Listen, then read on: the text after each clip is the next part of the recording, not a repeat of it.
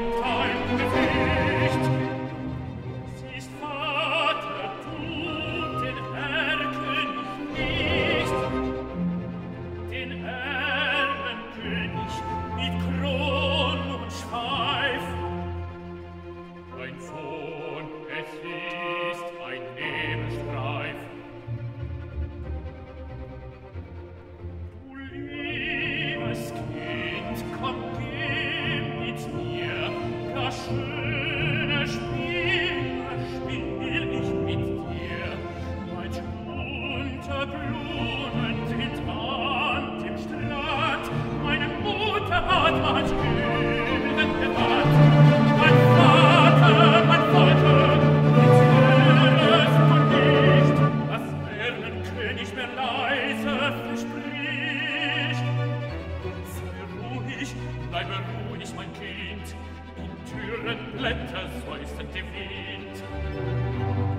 Willst, feiner Knabe, du mit mir gehen, meine Töchter sollen dich warten schön, meine Töchter führen den nächtlichen Rhein und fegen und tanzen und singen dich heim, sie fegen und tanzen und singen dich heim.